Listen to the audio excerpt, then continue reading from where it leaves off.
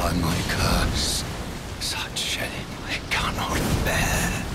Thy part in this shall not be forgiven.